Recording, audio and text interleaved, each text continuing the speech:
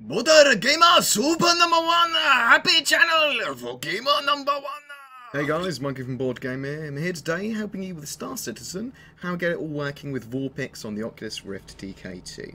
So I'm just going to give you the settings that I used to get it working. Um, I'll put some more troubleshooting tips down in the description. So first off, you just want to make a folder with uh, the vorpX start and Star Citizen and anything else you might need um, on your desktop um, because you're going to be using this folder a lot. So literally for this one, it's just Star Citizen and vorpX in that folder.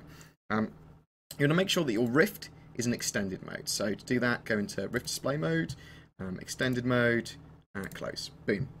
Um, really simple. Uh, you want to run vorpX, so wherever vorpX is, in this folder. Um, run that bad boy. Um, now in vorpX, you want to configure vorpX. Uh, and just make sure that you've got expert settings enabled, disabled Aero on, um, never use an Oculus profile because it bugs the hell out, um, and do not enable head tracking roll at the moment because it's a bit buggy, um, but just enable normal head tracking. Um, also, you want to go into excluded programs and you want to add anything that might interfere. So you literally want to exclude programs like Steam, Mumble, um, Skype, uh, anything that's not a game that you're going to be running. Because um, a lot of stuff interferes with vorpX running and tries to hook to it, um, including like uh, Media Player will try and hook to it, um, loads of stuff. Uh, Windows Movie Maker, so make sure that's disabled also. And when you're all ready with that, apply and close. If you right click on your desktop, you just want to make sure that before you're running everything that your Rift is your main display. So literally click on the Rift, um, make main display, uh, make sure it's offset diagonally to your main monitor and that it's in portrait mode also. Um, if it's long, like landscape, that is bad, that is naughty. You want it in portrait and you want it diagonally offset. This is so that your mouse doesn't leave the borders um, of the Rift. Um, sometimes you can actually be clicking on your desktop when you're playing on the Oculus, um, which is bad. Once that's all done, guys, you just want to run Star Citizen. Wham bam, thank you, ma'am. And you can use the shortcut Windows key Shift and left or right arrow to move that uh, window to the Oculus or to your main screen. Uh, other great shortcut to know is Alt Enter will make stuff full screen uh, or windowed mode. Absolutely great. Um, so literally just log into your account. Once you've logged in, this will happen. Bing. So once you've loaded into the game, you'll have this lovely screen.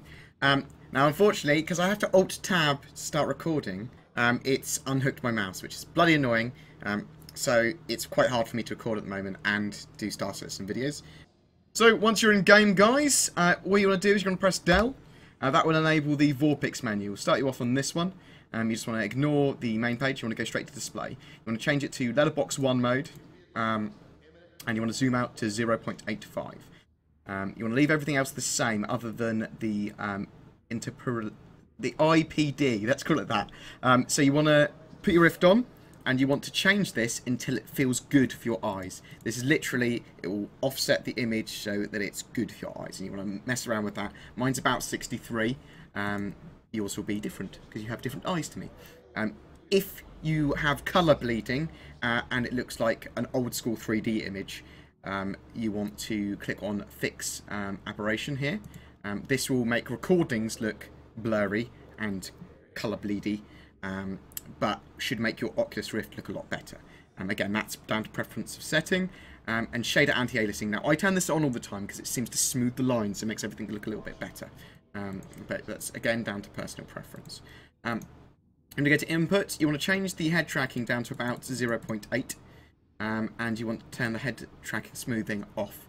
Um, and then OK and save. And then, your experience for Star Citizen is ready.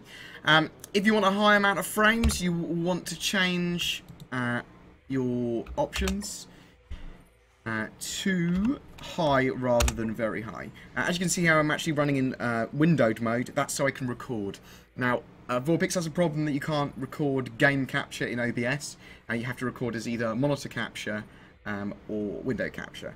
Um, and in, in, window capture, it unhooks your mouse. So unfortunately, at the moment, my mouse is unhooked, um, so I can't control my mouse in the game. Thanks very much, guys. That's the basics of, of getting it all working. I hope that helps, and uh, don't forget to like and subscribe, and I will see you next time. Oh, one other major important thing. Um, for uh, better setup for your Oculus, check out my videos, uh, set up basics and set up advanced, uh, and set up refresh rates. Uh, that should get your Oculus and games looking a lot better as well. Thank you very much, guys.